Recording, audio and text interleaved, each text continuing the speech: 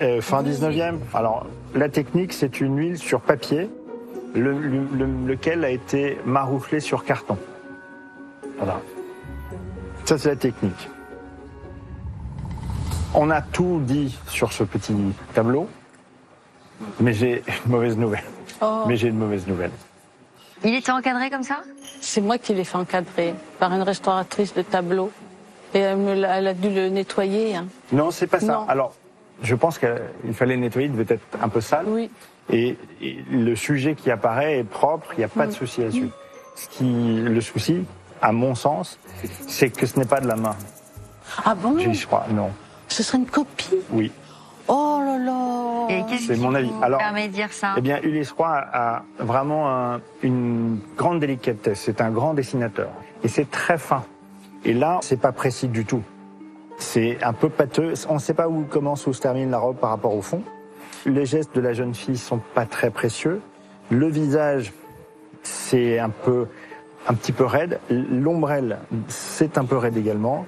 Puis alors, le- l'environnement, pour le coup, là, C'est une mauvaise surprise. En plus, quand je l'ai fait restaurer, Oui. elle était restauratrice de tableau, la Oui. dame. Mais euh, elle m'a pas dit, ben non, c'est une copie, quoi. Ben non, mais elle est restauratrice de tableau, elle n'est pas experte en tableau. Bon, alors, cher Jérôme, Alors. si ça avait été un tableau d'Ulysse Roy de ce format, etc., On vous l'auriez estimé à combien? Entre 800 et 1000 euros.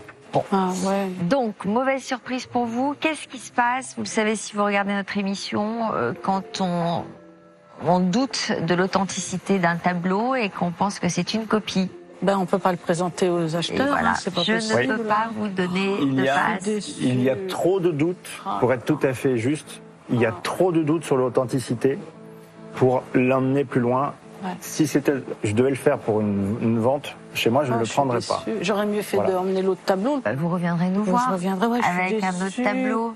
Ouais. Oh, je suis déçue. hein. Je suis navré. Ah ben, Je ne euh, vais pas inventer les Qu'est-ce choses qui qui pourrait vous pas. être agréable Un petit baiser de Jérôme? Si je... Vous vendez mes baisers comme ça.